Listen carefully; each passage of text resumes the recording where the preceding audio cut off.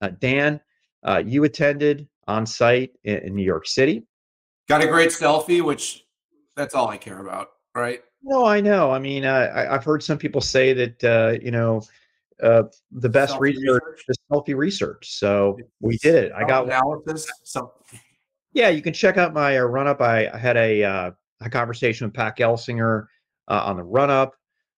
you can read that article on Forbes, and then you know I, I, probably tweeted too much, but it was a very uh, provocative event. And I haven't done my summary, but but let me let me kind of net out uh, what they did. So they announced their first AI PC, uh, which is the Core Ultra. They introduced fifth generation uh, of Xeon, uh, same power envelope, a lot more AI uh, performance, and and by the way, I feel like this fifth gen uh, was the fourth gen that everybody wanted in the first place. Okay, um, but they had to get that fourth gen out. It was two two years late, uh, but but very quickly following up uh, with with uh, with fifth gen. So um,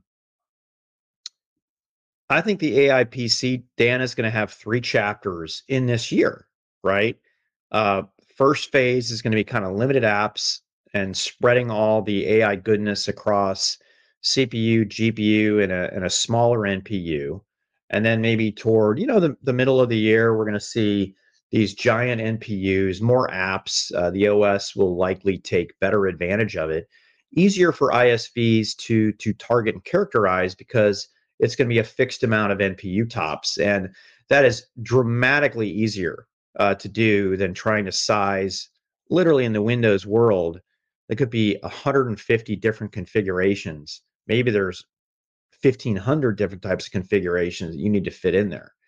And then, you know, the third phase, right, which may, you know, might be at the very end, uh, might be, you know, into 2025 is where it's all going to come together. So people really need to look at this uh, as a as a continuum. Uh, Intel showed up uh, with, uh, you know, some pretty good tops uh, across CPU, GPU, and NPU. I think the NPU is like 11 or or something like that. Uh, they had a couple uh, uh, videos of uh, customers that, that were on stage. Um, and and anyways, I think this is kind of the I'll call the beginning of shipping PCs uh, for for AI. Uh, a lot of and let's move to fifth gen Xeon that Sandra Rivera brought out. Big performance, big TCO claims. Signal 65 didn't validate them yet but uh, those were some super uh, big numbers. And I like the fact that Google Cloud, IBM, and Zoom uh, testimonials were were super supportive. Final thing, uh, Pat G came out, uh, sneak, uh, snuck out a a card of Gaudi three, and you know this essentially is going to do industrial grade data center AI training and inference. it's an ASIC, which means it's not a GPU uh, which means it's going to be higher efficient and higher performance for a set workload, uh, but harder uh, to program. And the program is built into a combination of the compiler uh, and, and, the API. But listen, it's good to see Intel doing this. Uh, I'm going to you know, hold my breath until 2025 until we see an AI optimized GPU that uh, people still think, you know, just by what they're buying, uh, with NVIDIA and, and, now with AMD uh, for the data center. So I don't know. Uh, Intel is delivering uh, on their promises. They're not getting any credit for AI, even though their stock has gone up 63% uh, th- this year alone. But uh, it's good to see that the execution continues. Yeah, I had a good chat with Pat Gelsinger yesterday, small group of analysts. And you know, one of the, one of the things I really like about Pat is that he's confident when he in what he's doing, but he's also okay to admit where the company has gotten things wrong. And you know, he talked about you know the Altera acquisition for a while because he's obviously they're spinning off the FPGA business. He basically said we got it all wrong, and now we're going to fix it and get it right. And the thing is, is there's an opportunity there. Probably has nothing to do with the event yesterday, but I just like a CEO that can say, "This is what we did wrong, and this is how we're going to fix it." You know, Pat, there's this. I want to spend most of the time talking about the AIPC because we only have so much time, and I, I and I want to dive in a little bit and even have a bit more of a discussion on this with you. But so the AIPC is probably one of the most hotly contested, exciting super cycle creators in the next 12 to 24 months, and yet it still seems that when you ask questions of uh, executives about the AIPC, no one can really tell you what you're going to be able to do with it yet. And I'm not saying running an LLM local. I get that. Okay, everybody gets that. But how many tops do you need to do that? And how many LLMs are you going to need to run at the same time? And how many of the people that are going to run four LLMs at one time to do some sort of crazy, um, you know, graphic rendering with content and context and versus the average knowledge worker that's just inferencing on Salesforce or Copilot on Microsoft. And so I know there's this debate, and of course in semis, Pat. By the way, this is why we built Signal 65 is because claims will need to be validated. But like yeah. this first generation Meteor Lake AI PC that's going to that you know Pat Gelsinger so you know he's like, hey, you can go to B and H down the street today and buy this. Is that an AI PC? Or is 10 is it 10 top NPU an AI PC? Does it need to be over 25? Is it 50? Where does it become an AI PC? And what does this market outlook really look like? And what is the compelling killer use case that is going to drive enterprises and then consumers in droves to the store to buy an AI PC? I get that AI is cool. I get that inferencing more locally is important. Um, but I mean, and then, by the way, this was a question that was being asked in the audience. And, yeah. You know, Gelsinger gave a good example when he talked about a Zoom meeting where you could be literally real time transcribing and getting action items versus you know right now when you use like a Zoom um, tool and it, and it gives you the summary after. But like there aren't that many use cases yet that are really well understood. And then the, so this point is is like this battle for tops. What are we winning as consumers, and how much more are we willing to pay to get from 10 to 20 and 20 to 40 and 40? I'm just asking the question right now because I also do believe that this is cool. So, you know, you have Apple and AMD, what around 17 tops in what they've recently announced.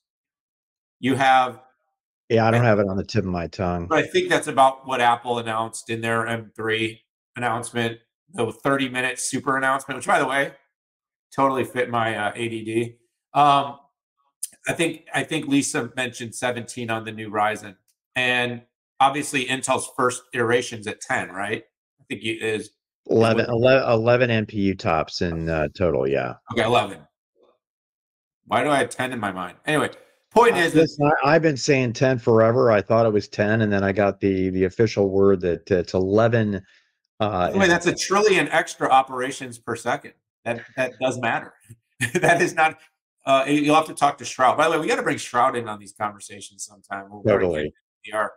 Shrout, Ryan Shrout's our president of Signal 65, which is our yeah. testing, validation, benchmarking services. In case anybody needs that stuff, because you do. Eh, but okay, so I'm going to pause here and kick this back to you. What when are we? What I think companies need to do is actually tell us at 10 and at 20 and at 40 what does the experience look like? What changes? Because otherwise, Intel's in it has a huge advantage because they have a product, it's shipping in the market right now, and they have the best distribution in the world for their for their silicon. So the reason that everybody's not talking about everything openly, quite frankly, is because they want to keep it secret about those future experiences. Okay. And that's why that's why ISVs uh, and OSVs aren't talking about it. And and interestingly enough, they don't want to strand and destroy the first half of sales. I mean, it's about as economic uh, as as that. Okay, so and and there's still a lot of work uh, to be done. The way that I like to explain explain this, Dan, is imagine doing everything that you can do today with the cloud inside a, a certain uh, parameter model, but make it more performant. It'll be faster because you're not going up and down uh, to the cloud.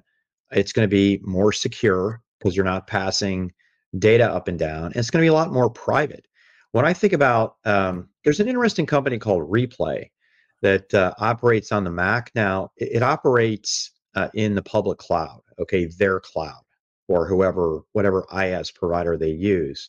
Uh, but essentially, it's taking snapshots of every single thing on the screen, okay? And think about everything on your screen, every video, every phone call, everything that you you you really do uh, on your PC and uploading that to the cloud. That's going to be a hell of a lot of data. It's going to be slow, and there are some things we just don't want to share. And if you're an enterprise, sharing all that data, I mean, I, I'd love to say that that Microsoft 365 more more companies are using that than standard. Uh, I'll call it uh, on device uh, Microsoft, uh, Microsoft 365 and Office 365, but it's not. Big companies are still very reticent to share all that corporate data and send that to the cloud. And if I can do what I need to do with Microsoft 365 and not have to transmit that to Microsoft, uh, um, I, I, think customers are going to like that. And, and I think we already see elements of hybrid architecture uh, with Office 365 uh, where it actually determines what's the best way uh, to do this grammar check. What's the best way to do this uh, spell check based on um, the, the quality levers of that? The industry is calling that hybrid uh, AI. It's going to take a, a while to get there, but that is the that is the you know that's where the ultimate happens where you can have your cake and eat it too depending on um you know the your privacy settings, your security settings, and also uh, connectivity, and quite frankly, uh, compute. So, long-winded answer to uh, uh, to what to, to what you asked, Dan. But uh, I think I think that that is that is my that's my answer right now.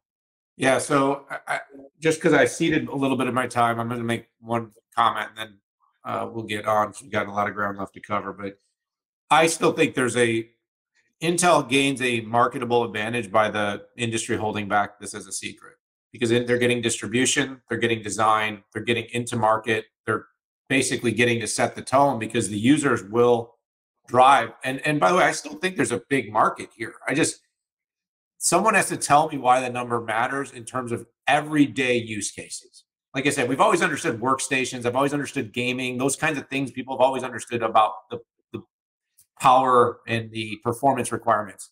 But if I'm just a knowledge worker in Salesforce and Zoom and email, and you know, telling me why a doubling tops matters is going to be valuable to make sure that you can get people, you know, otherwise it's just iPhones, iPhone 15, iPhone 16, iPhone 17, and who cares? So, anyways, all right. I see my comments. Yeah, not not disagreeing. I, I completely agree. I just think people are keeping it secret right now and like what we see with meteor lake today um you know i think it's going to be important for people to look at the applications and and how the experience uh, is better. Uh, the reality is most of let's you know i'll call it um you know if, if we're uh, using copilot m- most of that is is right now and, and even on meteor lake is going to be done uh, through the cloud